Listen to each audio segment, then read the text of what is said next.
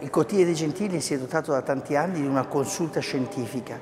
e questa consulta scientifica non è chiusa in se stessa, vuole aprirsi a altre esperienze. In questo senso l'Università Cattolica ha tantissimo da donare avendo a sua disposizione diciamo, un pool di esperti imparagonabile. Ed è appunto per questo che non è solo a livello diciamo, meramente dell'incontro che è importante o di accordi che si possono fare o di lavori o di eventi come questo, ma è proprio a livello dell'esplorazione delle basi antropologiche di tutte le questioni che riguardano la scienza e la tecnica e il futuro dell'uomo che questa collaborazione deve inquadrarsi.